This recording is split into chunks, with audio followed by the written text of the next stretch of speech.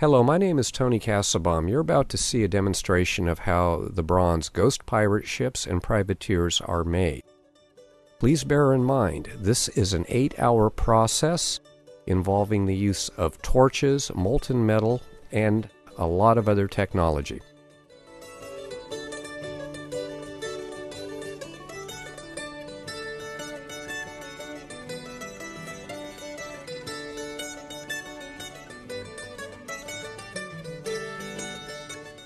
Now we're going to invest the flask.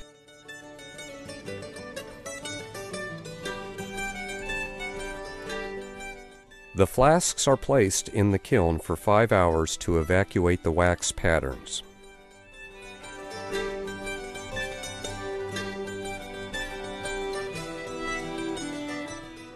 The flask is carefully loaded into the cradle of the centrifuge.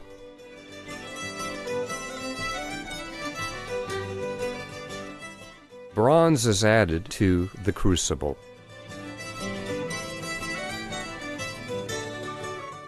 The torch is lit.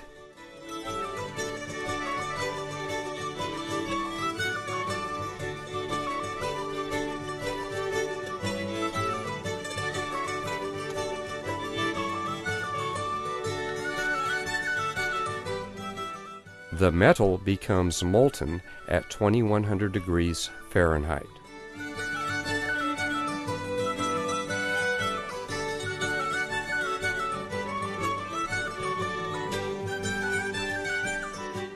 By centrifugal force, the molten bronze is forced into the cavities left by the evacuated wax.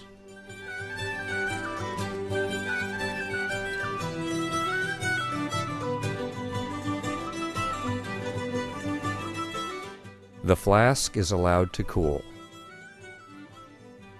and then quenched.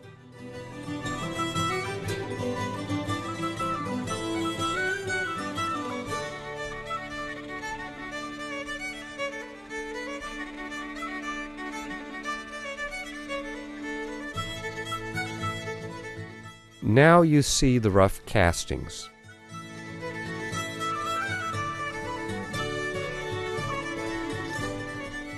After eight hours and several finishing steps, here is the finished ship.